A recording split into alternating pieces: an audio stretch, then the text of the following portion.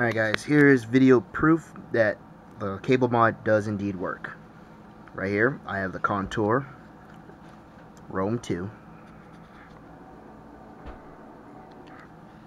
Now, I'll sit here, set the record. Now, mind you, it is connect. It will be connecting to this battery.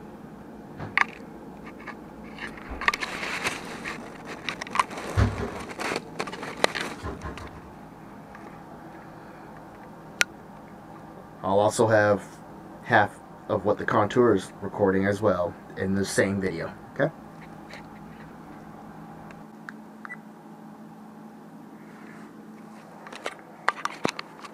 So, showing proof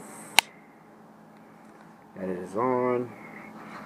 As you can see, it is 9:28 p.m.